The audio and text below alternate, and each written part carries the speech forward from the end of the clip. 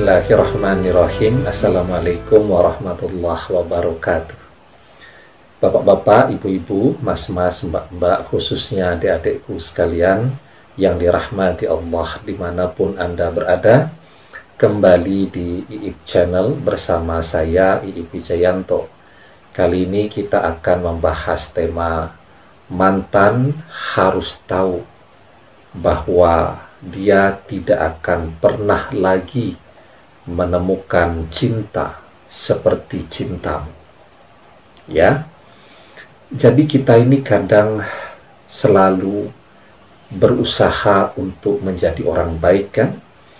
Tetapi kebaikan yang kita lakukan, yang kita persembahkan ya, sikap di mana kita selalu siap untuk berkorban demi orang yang kita cintai. Sayangnya, lebih sering dimanfaatkan, lebih sering disalahgunakan oleh orang yang kita cintai. Ya, saking cintanya, kita berusaha melakukan segalanya asalkan dia bahagia. Saking cintanya, kita berusaha melakukan yang terbaik walaupun kita yang harus jadi korban. Asalkan mantan ketika bersama kita dulu dia bisa mendapatkan yang terbaik. Ketika dia bahagia, kita merasa lebih bahagia. Ketika dia disakiti, kita pun merasa sangat disakiti. Ketika dia direndahkan, kita yang jadi marah-marah. Ya. Ketika kita melihat dia sakit, maka kita merasa lebih sakit lagi. Ya. Nah, itulah cinta yang sejati. Tetapi sayangnya apa yang kita lakukan itu kan yang kita lakukan yang dilihat adalah produknya saja untuk menghasilkan sebuah kebaikan yang dinikmati oleh mantan itu prosesnya saya yakin luar biasa sulit dan beratnya. Ya misal Anda bantu dia ya. Namanya orang yang saling mencintai kan tidak ada hutang-hutangan. Kalau Anda bisa bantu maka pasti Anda bantu. Misal dia sedang kesulitan keuangan karena sedang studi atau sedang kuliah ya. Anda kasih bantuan ya. Ini ada uang 6 juta, 7 juta rupiah ya untuk membantu membayar SPP kuliah ya. Mungkin bagi dia itu angka itu adalah angka yang hadir secara otomatis, sekonyong-konyong ya kalau kita sering menyebutnya sebagai ujuk-ujuk mak beduduk begitu ya tiba-tiba nongol ya sebuah keniscayaan bagi dia. Tetapi dia tidak pernah tahu kan bahwa untuk mendapatkan uang segitu ya apa yang harus kita kerjakan? Berapa lama kita menabungnya? Jungkir balik dan perjuangan seperti apa yang kita lakukan sehingga kita bisa menyimpan uang segitu. Ya. Mungkin bagi dia ketika Anda neraktir makan ya, kemudian Anda tidak pernah berhitung kan mengantar dia ke sana kemari berapa tuh bensin yang sudah dikeluarkan ya berapa waktu yang setiap hari Anda sediakan ya untuk mengantar menjemputnya kembali kan tidak pernah Anda hitung ya. Bagi dia itu adalah sesuatu yang niscaya. Harus ada. Tetapi dia tidak pernah membayangkan prosesnya agar kendaraan ini bisa berjalan kan? Agar Anda bisa sampai tepat waktu agar dia tidak terlambat untuk menjalankan aktivitasnya ya. Bagaimana Anda harus mengurangi istirahat dan tidur Anda ya. Mungkin ketika Anda datang tuh menjemput dia Seringkali dia masih tidur nyenyak, terlelap ya. Harus Anda miskol bolak-balik baru dia terbangun ya. Sementara Anda sudah tiba untuk mengantarkan yang bersangkutan. Ya. Nah, jadi manusia itu ada orang yang tahu diri. Artinya apa? Dia pandai menghargai jerih payah orang lain bahwa dia bisa sukses. Di belakang dia ada begitu banyak orang yang telah berkorban untuk mendorong dia agar menjadi orang yang sukses ya.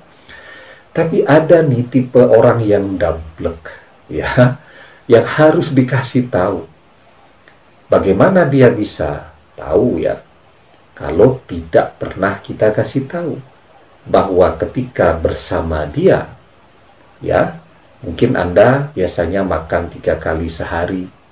Itu makannya cuma jadi sekali sehari. Sisanya berhemat agar bisa membantu dia. Operasional dia, makan dia, dan seterusnya. Ya, Ketika Anda bersama dia, Anda tidak lagi menghiraukan rasa sakit kehujanan dalam keadaan mungkin sedang sakit Anda jalani, Anda lakoni, yang penting dia bahagia, yang penting dia aman, yang penting dia selamat sampai tujuan. Ya. Yang demikian Anda harus kasih tahu dia. Kenapa Anda bisa bergerak seperti itu? Yang menggerakkan apa? Yang menggerakkan karena cinta. Ya, Cinta sejati itu selalu identik dengan keinginan berkorban memberikan yang terbaik. Orang tidak akan bisa memberikan yang terbaik kalau dia tidak punya keinginan untuk berkorban. Dan semuanya digerakkan oleh cinta. Ya. Sehingga ketika yang bersangkutan mantan Anda pada saat ini menyia-nyiakan Anda, mengkhianati Anda, bahkan sampai pada tingkat memusuhi Anda dengan segala cara.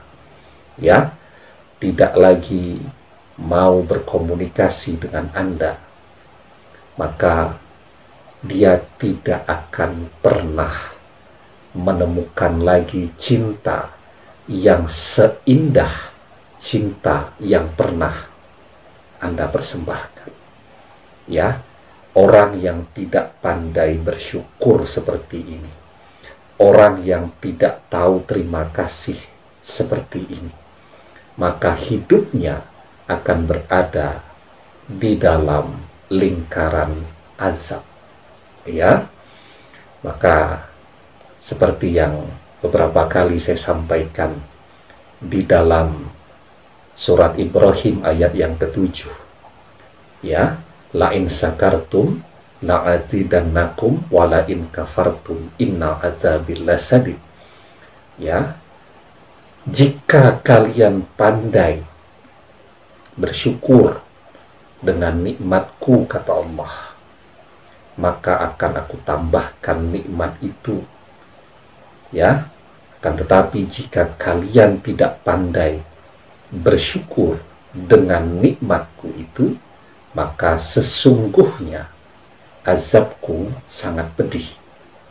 Ya, jadi ketika mantan menyia-nyiakan Anda, itu sebenarnya implementasi dari sikap dan adab hatinya bahwa dia orang yang tidak pandai bersyukur, tidak tahu terima kasih. Dia diberikan anugerah oleh Allah. Berupa orang yang teramat sangat mencintainya. Dan sekarang anugerah itu dia sia-siakan. Ya anugerah itu dia abaikan. Anugerah itu dia tolak. Maka apa yang akan bertambah di dalam hidup dia? Azab. Ya dari satu penderitaan ke penderitaan selanjutnya. Karena itu Anda tidak usah khawatir.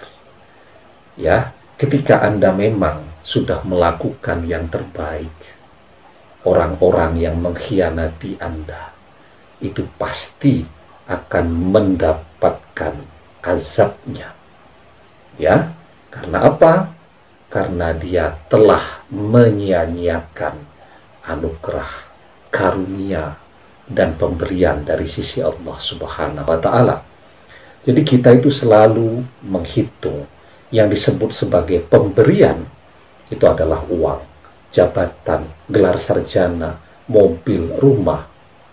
Padahal pemberian terbesar yang Allah berikan ya dalam wujud materi itu adalah seseorang yang mencintai kita dengan sepenuh hati dan jiwanya.